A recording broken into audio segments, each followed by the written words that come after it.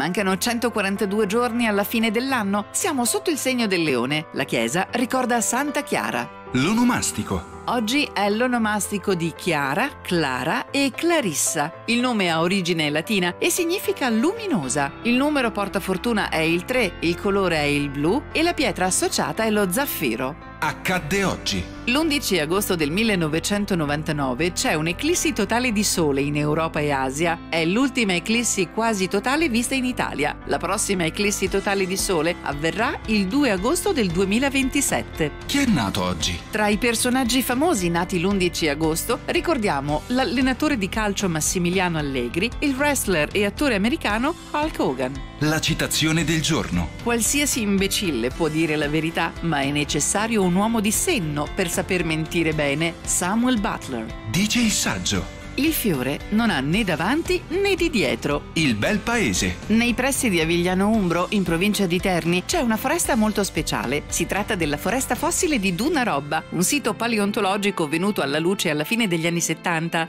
Qui si possono ammirare i resti di 50 tronchi di gigantesche conifere, il cui diametro varia da un metro a 4 e le cui altezze possono arrivare fino a 8 metri. La particolarità di questi reperti è che si tratta di alberi mummificati e non fossilizzati con il mantenimento totale delle caratteristiche del legno originario. Questo è dovuto al fatto che i tronchi sono stati soggetti ad un seppellimento continuo e graduale all'interno di un'area paludosa sulle rive di un lago.